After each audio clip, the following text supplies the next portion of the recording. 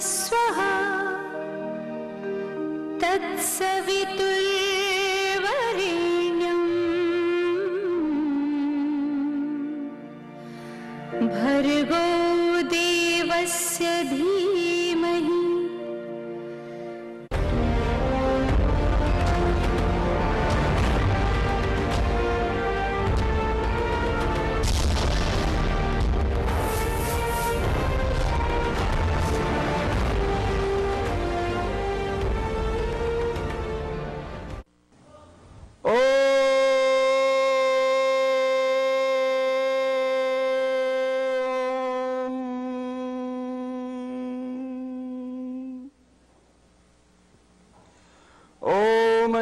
ज्ञानतिम्रान्धस्य ज्ञानाञ्जनशलाकया चक्षुर्नमिलितमेन तस्मै श्रीगुरुवे नमः। श्रीचैतन्यमनोभीष्टं स्थापितमेन भूतले स्वयं रूपा कदा मयं ददाति स्वपदान्तिकम् वन्देऽहं श्रीगुरो श्रीयुतपदकमलां श्रीगुरून् वैष्णवांश्च श्रीरूपं सागरजातं सहगण रघुनाथान्वितं तम सजीवम् साद्वैतं सावधूतं, परिजन सहितं श्रीकृष्ण चैतन्य देवम् श्री राधा कृष्ण पादान, सहगण ललिता श्री विशाखान्वितांश्च। हरे कृष्णा हरे कृष्णा कृष्णा कृष्णा, हरे हरे हरे राम हरे राम राम राम, हरे हरे। जय गोपाल आइए प्रिय बहन भाइयों, सत्संग प्रेमी जनों, आपका स्वागत है श्रीमद् भागवत गीता के संत सत्संग में। सठ सुधरे सत्संगति पाई। आइए सभी मिलकर के भगवान को प्रणाम करते हैं। ओम नमो भगवते वासुदेवाय। ओम नमो भगवते वासुदेवाय। ओम नमो भगवते वासुदेवाय। नारायणं नमस्कृत्यं, नरं चैव देवीं सरस्वतीं व्यासं, ततो जयामुदीरयेत्। नष्टप्रायेषु अभद्रेशु नित्यं भागवत सेवया। भगवते उत्तम श्लोके भक्तिर्भवती नष्ट की ओम शांति शांति शांति। जय गोपाल। ध्यान योग के विषय में सत्संग है।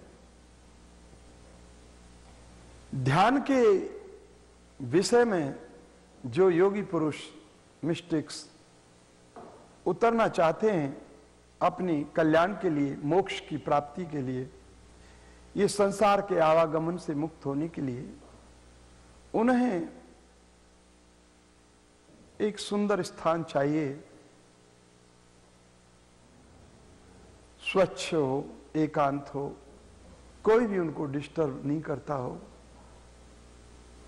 क्योंकि ध्यान क्रिया बड़े शांत स्थान पर होती है। इसलिए आपने देखा होगा अधिकतर ध्यान करने वाले व्यक्ति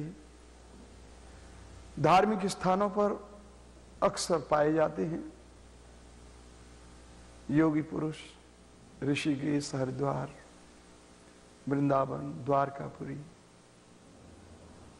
नर्मदा के किनारे इत्यादि स्थानों पर क्योंकि शांत और शुद्ध वातावरण होना बहुत ज़रूरी है। पिछले सत्संग में बोल रहे थे कि जिस व्यक्ति ने ध्यान योग के माध्यम से सिद्धि प्राप्त कर ली है या कैवल्य समाधि को उपलब्ध हो गया है, वो मोक्ष का अधिकारी बन चुका है। इस शरीर में रहते हुए भी और इससे मुक्त होने के बाद वो अपनी परम लक्ष्य जीवन का जो बनाया है, परमात्मा की प्राप्ति, वैकुंठ की प्राप्ति, या स्वयं साक्षात भगवान श्री कृष्ण की उपलब्धि, उनकी सेवा के लिए वहाँ पहुँच जाता है। उनका प्रेम पाने के लिए, उनके दर्शन पाने के लिए ऐसे सिद्ध पुरुष की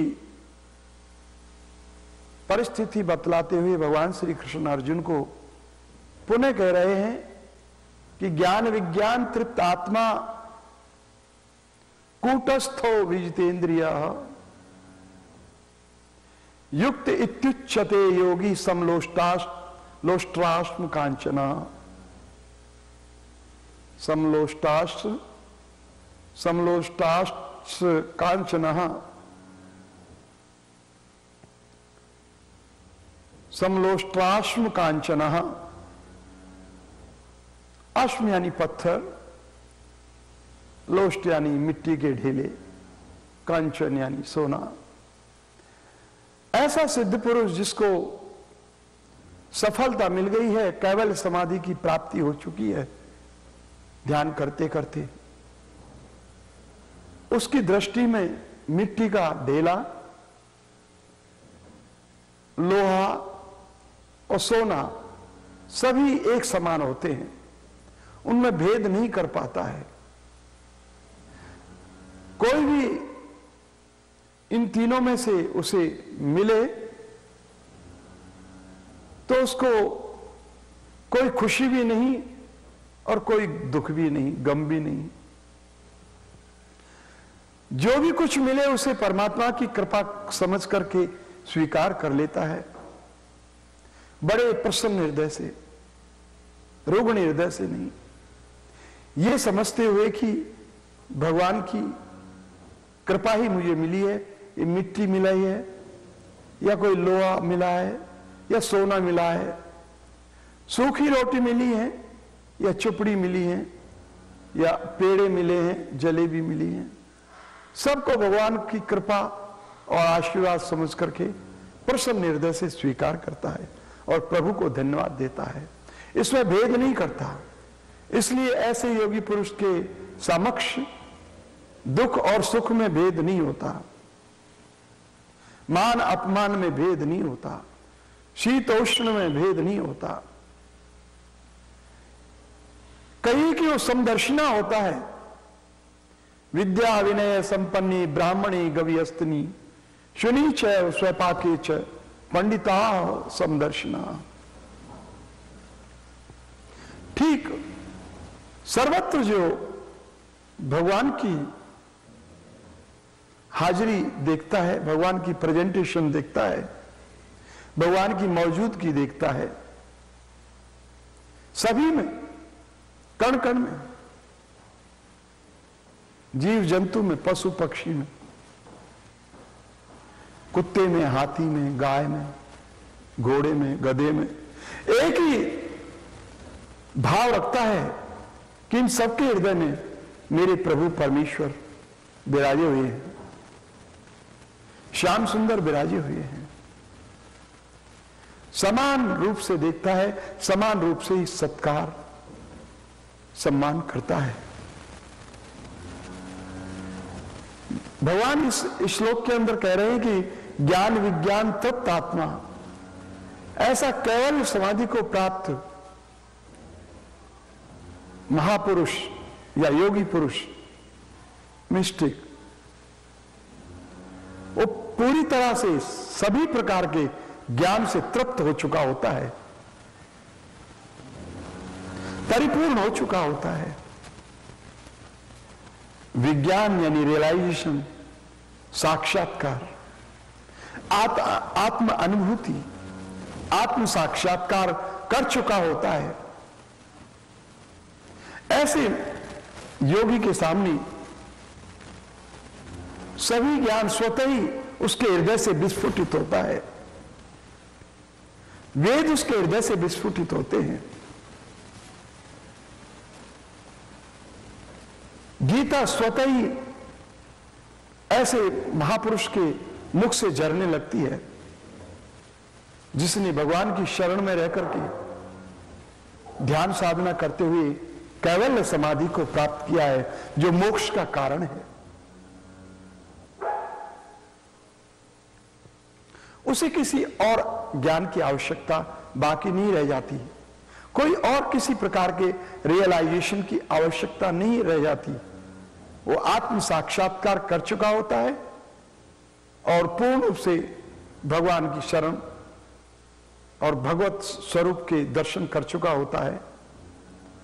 कहिए कि भगवान की कृपा बरस चुकी होती है ऐसे योगी के ऊपर और वो मोक्ष का अधिकारी हो जाता है। भगवान के धाम को जाने का अधिकारी हो जाता है।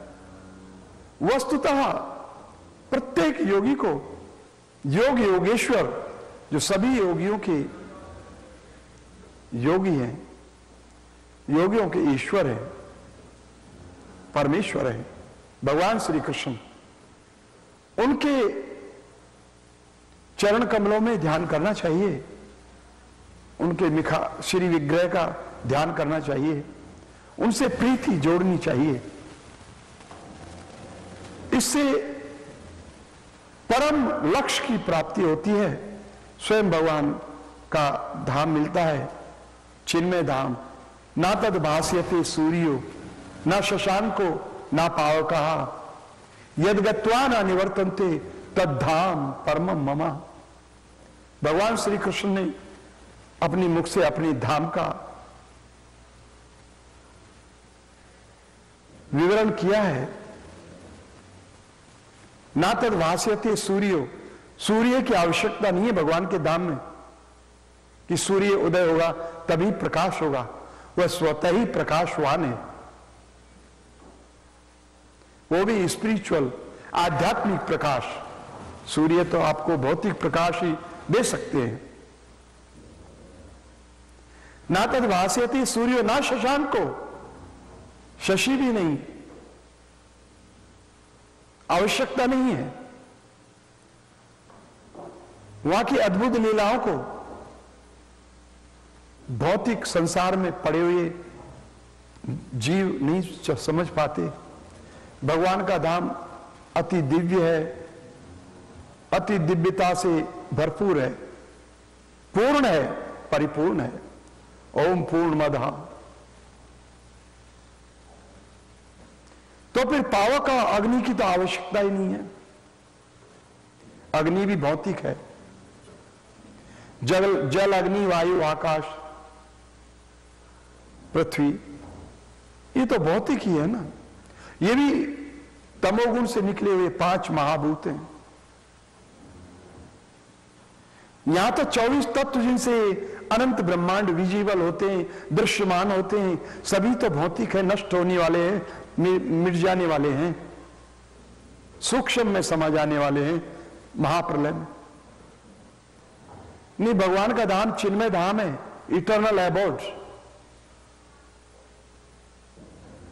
वहाँ पर कोई चीज़ मिटती नहीं, शाश्वत है। अद्वैतम, अच्युतम, अनादिम, अनंत रूपम। आद्यम, पुराण पुरुषम नवयौवनम च। वेदेशु दुर्लभम, अदुर्लभम, आत्मभक्तो। गोविंदमादि पुरुषम तम आम भजामी। वहाँ भगवान का श्री विग्रह शाश्वत है। नव यौवनम च सदैव नव नूतन रहने वाला श्री विग्रह भगवान श्री कृष्ण का है। और उनके धाम के जो उनके पार्षद, उनके सेवक, सखा, गोपियाँ, सबके ही तो श्री विग्रह नव यौवनम च है। जैसे भगवान है, सबको ऐसे शरीरों की प्राप्ति है। अभी तक तो सभी ने यही समझा है कि ये शरीर बचपन से बड़ा होता है, बुढ़ापा आता है और बिखर जाता है। क्योंकि ये भौतिक है, मिट्टी मिट्टी में मिल जाती है, जल जल में मिल जाता है, अग्नि अग्नि में मर्ज हो जाती है, वायु वायु में निकल जाती हैं साँसें। आकाश आकाश में चौबीस तत्व, चौबीस तत्वों में विलीन भी हो जाते हैं। लेकिन कभी किसी ने सोचा नहीं कि इटर्निटी जो यहाँ का थ्री फोर्थ हिस्सा है। वन फोर्थ हिस्से में भौतिक संसार है। थ्री फोर्थ में तो वैकुंठ जगत है। इटर्नल एबोर्ड्स हैं। उनमें सुप्रीम एबोर्ड जिस एबोर्ड को गोलोक वृंदावन धाम के नाम से जाना जाता है, स्वयं साक्षात परमेश्वर भगवान श्री कृष्ण के पास है। वहाँ भगवान का लीला और लीलाओं का रसोस्वादन करने वाले भक्तों का समारोह होता है। नित्य ही या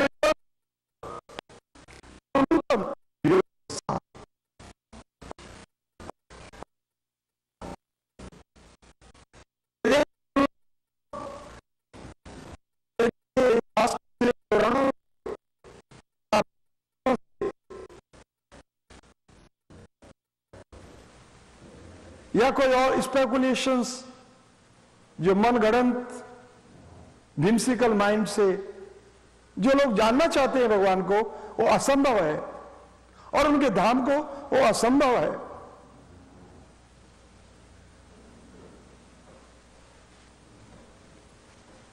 भगवान को जानने के लिए हमारे मन बुद्धि कम से कम स्पिरिचुअल तो होनी चाहिए। कम से कम भक्ति भाव भरे तो होनी चाहिए। कम से कम प्योरीफाई तो होनी चाहिए। पवित्रता पर तो आनी चाहिए। हमारे तो ये इंद्रियाँ, मन, बुद्धि, ये सब चित्त के विचार, ये सब कंटामिनेटेड हैं। सब पॉल्यूटेड हैं। हमारी विषय भोगों की इच्छाओं के कारण और उनमें लिप्त हो जाने के कारण। तो इनको कोई, जिनकी इंद्रिय, मन, बुद्धि लिप्त है इस संसार में, फंसे हुए हैं, झूठ में, ओढ़ी हुई जिन्होंने कपट की चादर, स्वार्थ का सिर पर पाग है जिनके, ऐसे व्यक्ति, लोभी, लालची ईर्ष्यालु, झगड़ालु, कामी क्रोधी। ऐसे मन बुद्धि रखने वाले व्यक्ति कैसे उस परम सत्ता को पहचान सकते हैं? कैसे जान सकते हैं भला? नहीं, रूप गोस्वामी महाराज कहते हैं कि भगवान की प्रेम भरी सेवा के बिना भगवान को नहीं जान सकता। कोई नहीं जान सकता। वेदेशु दुर्लभम। अदुर्लभम आत्मभक्तो। आत्मभक्त क्या होते हैं? जो भगवान की प्रिय आत्मा बन जाते हैं। प्रिय आत्मा। प्रेमी जन प्रेमी भक्त प्रेमांजन छुड़ता भक्ति विलोच ने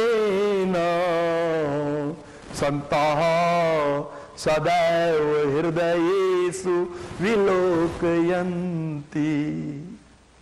यम श्याम सुंदरम अचिंत्य गुण स्वरूपम गोविंदमादि पुरुषम तम अहम भजामी। वेदेशु दुर्लभम अदुर्बल अदुर्लभम आत्मभक्तो। प्रेमी भक्त, प्रेमी भक्तों के लिए भगवान को जानना, पहचानना, उनकी लीलाओं को जानना, उनके नामों के बल को जानना, उनके रूप सौंदर्य को जानना, उनके धाम को जानना, ये बड़ा आसान हो जाता है। सुदुर्लभम। वेदेशु दुर्लभम। नहीं शास्त्रों से, वेदों से और क्रियाओं से नहीं जाना जा सकता भगवान को। ज्ञान विज्ञान तृप्त आत्मा, कूटस्थ हो विजितेंद्रिया। जिन्होंने अपनी पूर्ण रूप से इंद्रियों को वश में कर लिया है, विजितेंद्रिया। नाम तो अलग अलग करके दिखलाए गए हैं लेकिन बुद्ध भगवान ने एक जगह बोला है कि ये मन की भी आठ अवस्था हैं। ये चित्त की आठ अवस्था हैं। मन और चित्त में कोई विशेष फ़र्क नहीं है। नाम मात्री भेद है। तो आठ अवस्था कैसे बोली गई है? ये पाँचों ज्ञानेन्द्रियाँ भी मन ही है। कान है ये जैसे मन चल, चलायमान है, ऐसे कान भी चलायमान हो जाते हैं सुनने के लिए। कोई भी चीज़, वस्तु विशेष को।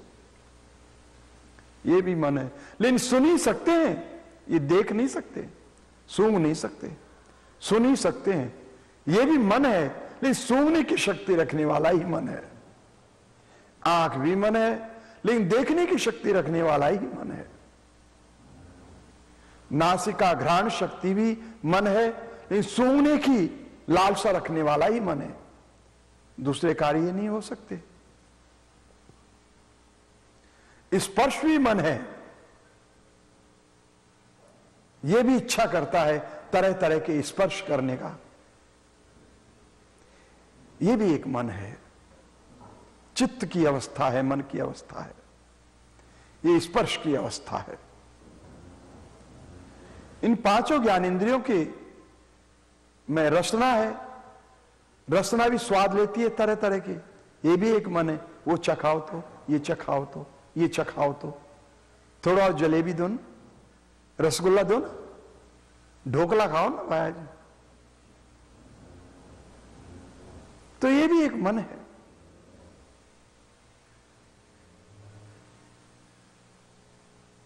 लेकिन इनके ऊपर जो छठवां मन है, भगवान ने तो कहा है एक जब गीता में, मने षष्टानी इंद्रियाणी। जो ये छठी इंद्रिय मन नाम से जानी जाती है,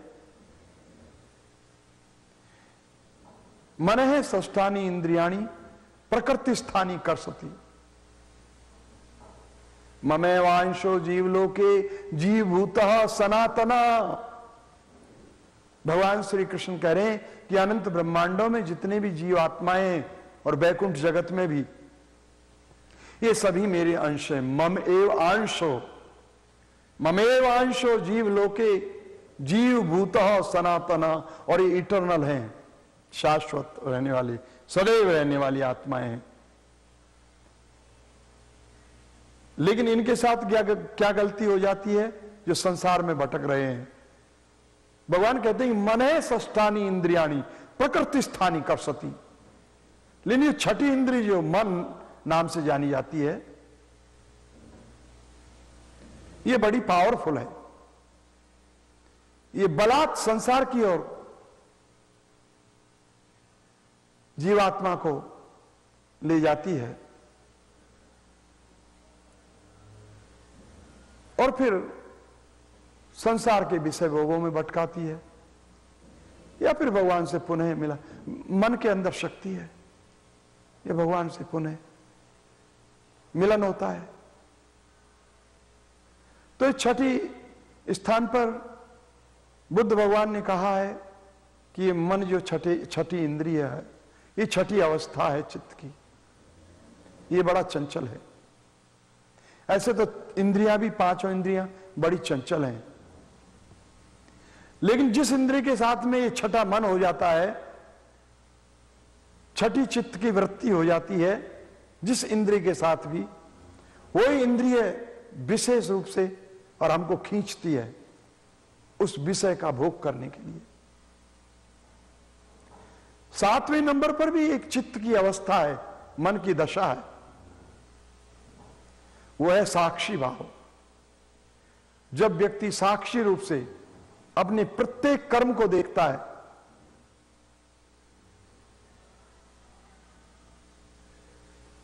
तो इसको जागृत अवस्था वाला मन कहते हैं।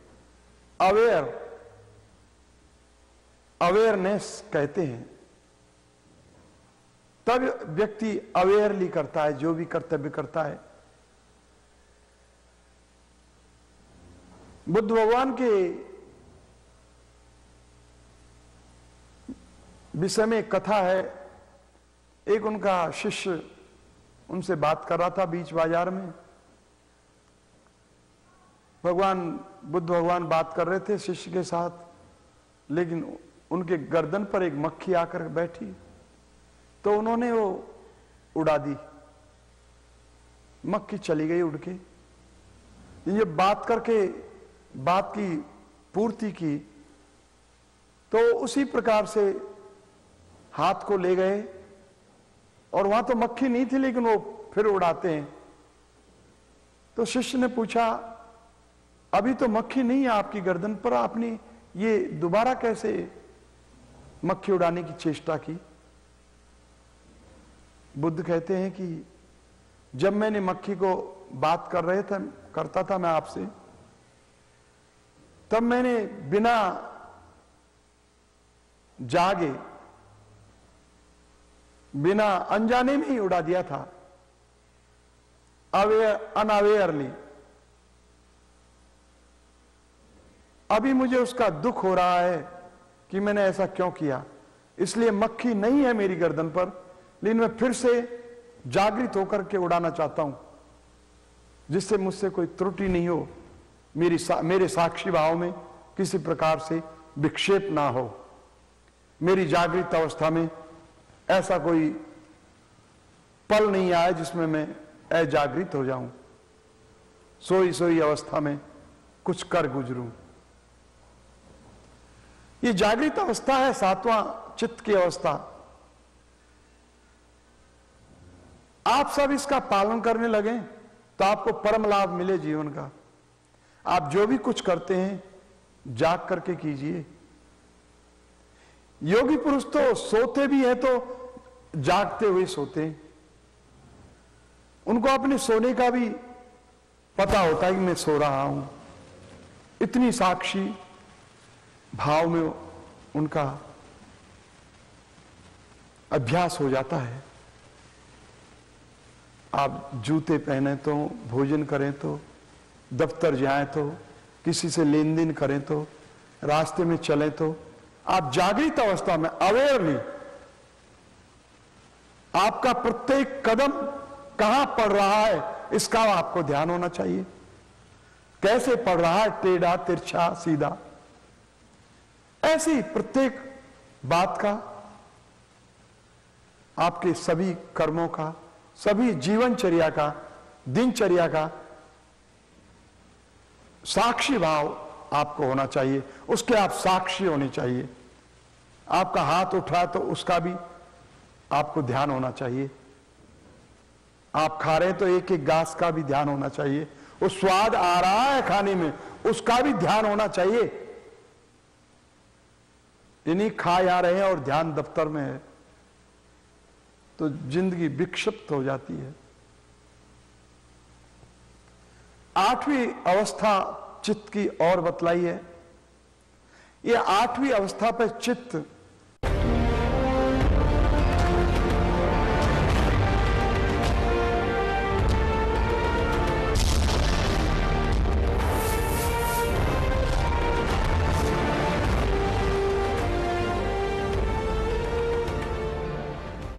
Is looking for advertising executives. In Edison, Philadelphia, Chicago, Washington, D.C., Houston and Dallas in Texas, Los Angeles, San Francisco, San Jose, Bakersfield and Sacramento in California, Atlanta, Boston, Seattle, North Carolina, and Florida. So come be a part of our team. Mail your resume to info at justbroadcasting.com or call us at 718-752-9290.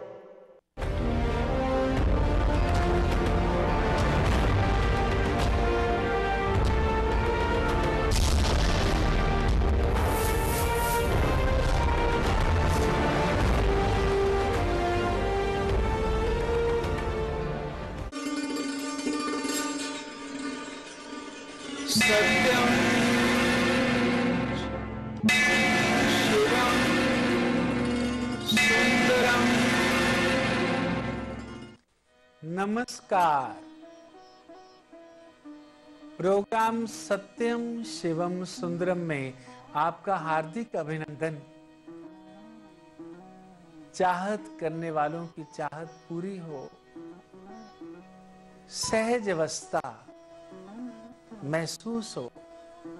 जीवन परम सुखी हो जाए। कठिनाइयों से जूझने के लिए रास्ते मिल जाएँ, परम सुख का एहसास हो, उसके लिए हम आपको सत्य की पहचान करवाने का प्रयास कर रहे हैं। तैतीस करोड़ देवी देवता, आप किन की आराधना में जाओ? बस इतनी ही बात को समझने का प्रयास। पता कहाँ से चलेगा? आपकी जन्म कुंडली से। बहुत से लोग ऐसे भी हो सकते हैं जिनकी जन्म कुंडली ही ना हो, जिनका जन्म तारीख, जन्म समय ही ना हो हो भी जिनको ख्याल हो